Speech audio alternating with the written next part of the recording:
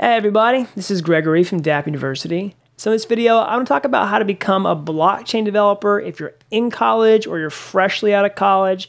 And really this video is going to have a lot of good advice for anybody who's trying to become a blockchain developer and really doesn't have much professional programming experience. Or really anybody who's trying to get started as a blockchain developer. So if you're in any of those categories, be sure to stick around for this whole video to kind of pick up on the pointers that I'm going to give. So before we get into all that, be sure to subscribe to this channel if you haven't already and click the like button down below. And also, if you're interested in learning how to build blockchain technology, you can download my courses for free on my website over at dappuniversity.com forward slash free download. So I got this email from somebody named Varun, so one of you all. Um, he emailed me kind of asking my advice on how to get started as a freelance blockchain developer as a freshman in college.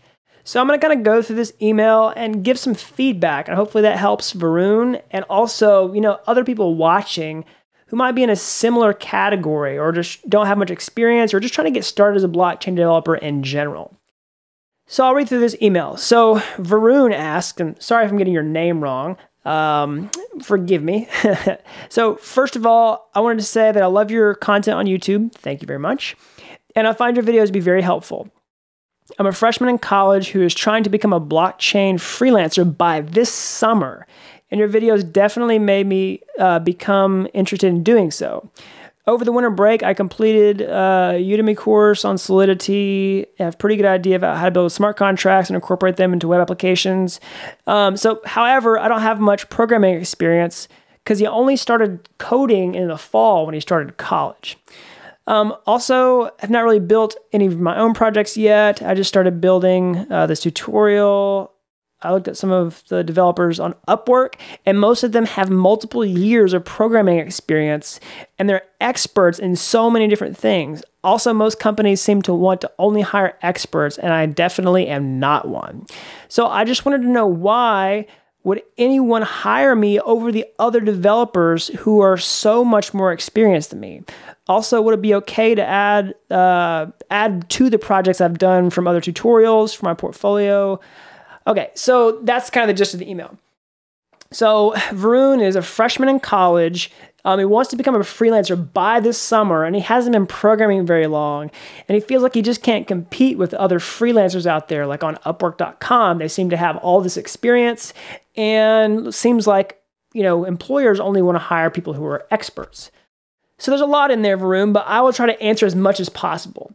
All right, so I'll also start with a caveat by saying, you know, I can only gain so much about your situation from this one email. So I don't want you to take what I say here as like the final, this is what you should do advice. But I do want to kind of help unpack this and maybe help you think about some options that you haven't thought about yet, right? So I'm gonna have to guess on a few things just because I don't I don't know you, I don't know all about your situation. Um, so I don't know what your needs are for this summer. You know, you you said that you want to be a freelancer by this summer, uh, which is a relatively short timeline if you haven't been programming very long. Um, it's not it's not impossible. I'm just saying that's a pretty immediate need, right? So I don't know if you have to you know support yourself to pay rent for that time. Um, and, you know, I don't know how much money you need. I don't know what your financial needs are really. I don't know if you have a pressing financial need or, you know, if you can wait, right? If you don't have that pressure or you don't necessarily need to pay for your expenses over the summer. I don't know. Maybe you can live with your parents since you're still in college. Um, there's lots of things I don't know here. So if you have to provide for yourself and you really are determined to become a freelancer, this is what I would say. I wouldn't wait till the summer. I would start now trying to become a freelancer while you're still in school. You probably, I mean, unless you have an unbearable amount of coursework, I would try to get that ball rolling before the summer gets here. Because if you are, you know, in uh, the northern hemisphere and the summer is only a few months away, it's only March at the time I'm making this video, especially if you're in college um, and you, you know, most universities let out in a few months. So, um, you know, I don't want to scare you, but that time is approaching fast. And if you really need to make money, I would start freelancing now to start, you know, maybe saving up to give yourself some buffer or uh, something like that, or at least kind of get your uh, kind of you just get get that ball rolling now.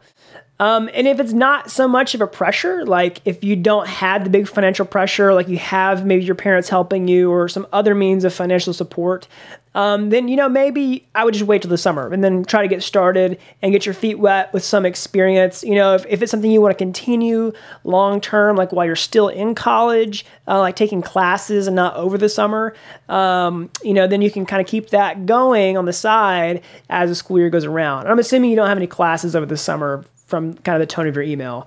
Uh, maybe I'm wrong about that. But so if you're a new programmer and you feel like you can't compete, I understand that, right? I understand seeing people out there with all these skills in the marketplace who are, you know, commanding prices that look reasonable with all this experience, right? And you feel like, how can I compete? How can I do this as a new programmer? It, it's tough. So I, what I will say this is you want to find your value. And this is something people misunderstand all the time. So freelancer rates, um, any work that's ever done in a business to business relationship, and really any reason anyone pays for anything is about value. And prices aren't set arbitrarily. Prices are set based on markets. Markets determine prices, and that's based on value, or at least perceived value. So, for you as a beginner, you have to find what your value is and what your competitive edge is and how you can compete with other people in the marketplace um, to bring value to people who want, you know, blockchain developers. So for you as a brand new beginner, how can you be competitive? Well, you can compete with programmers with multiple years of experience on price, especially if you're still in college, right? I know this doesn't sound super appealing because a lot of people become developers to make a lot of money, and that's not a bad reason to want to, you know, become a developer, right? Especially a blockchain developer. But when you're just getting started, and especially in your case, since you don't have much programming experience, like getting experience is still worth something to you, right? And you could still make a small amount of money and gain a lot of experience so that you can move to the stage of making more money a lot faster, right? If you can never get started, then you can never get to the point where you're making more money, right? But if you start small and then can raise your rates over time, you can actually get there, right? So that's what I would say. Now, as far as the types of projects that you do or the client type of clients you work with, um, this might be you might have to think a little bit differently as a beginner without much experience, right? You have to be pretty you have to get an idea of what you're capable of, right? You don't want to bite off um, a chunk that's too much for you to handle and something that you can't deliver on. And I know that's hard to gauge whenever you're a beginner. So you might have to jump into a few projects to find out sort of what your limits are and what you are, you know, are aren't capable of. But at the same time, you don't want to be afraid of challenges. Especially when you're new and you're really gaining knowledge, you're probably never going to get onto a project where you know how to do 100% of the amount of work that it's going to require or have 100% of the skills that are required in order to complete the project. I mean, I find myself getting into situations where I still don't know, you know, how to do some of the things that are required, but I've been doing this so long that, you know, I just I, I learn very quickly. And you can still learn fast as a beginner. You know, part of the part of the the challenge for you is that knowledge acquisition and getting better at that. So you can get better and charge higher rates.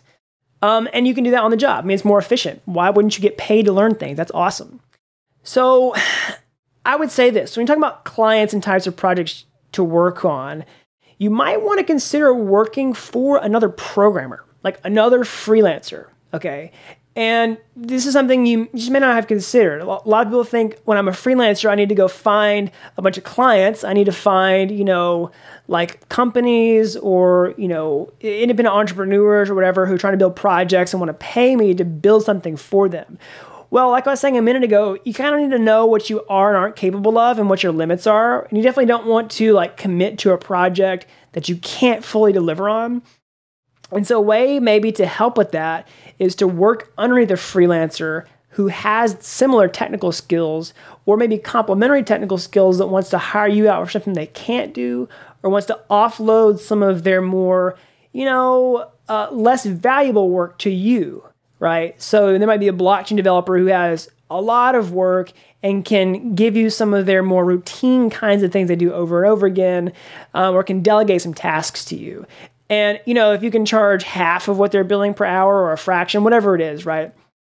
you know, there might be a good value proposition there. They get some benefit, you get some benefit. It's a win win.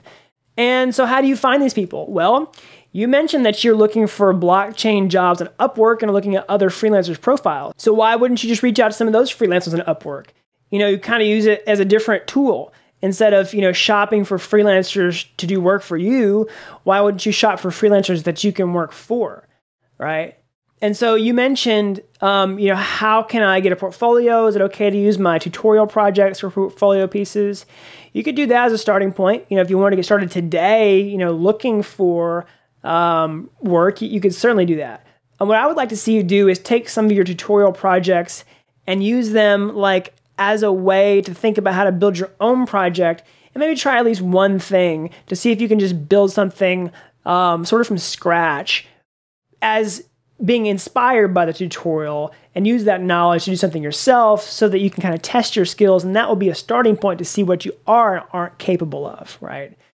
So that's what I would say. That gives you a portfolio to like present to other freelancers potentially who could hire you and you know where to find the freelancers. Um, you know you could charge some amount of their rate that they show on Upwork. It's it's advertised, so you could just half it um, or you know whatever, right? Whatever whatever your financial needs are, you could sort of do the math and look at their published hourly rates and say how much do I need to work, right, in order to pay my bills or, or cover my bases or do whatever you need to make it worth it for you, and just charge that, right? You'll gain experience which will be useful for you and valuable for you at this stage in the game.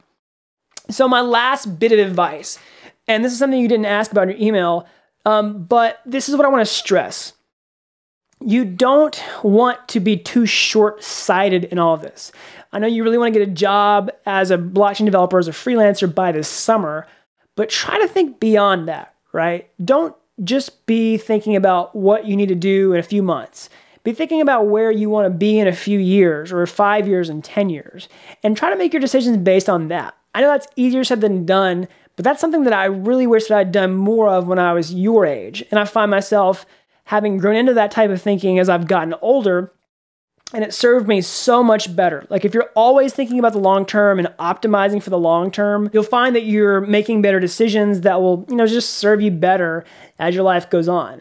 And, you know, it, do you want to become, uh, you know, a blockchain developer like right now and then move on to something else? Or do you want to really, you know, become a good developer and really gain the skills so I would think about that and try to do whatever you can to optimize for that rather than just this summer. So I hope you found that helpful and I hope other people found that helpful. Again, thanks for the email. Again, if anybody else is interested in you know having some of these questions answered on my channel, you can email me at gregory at dappuniversity.com.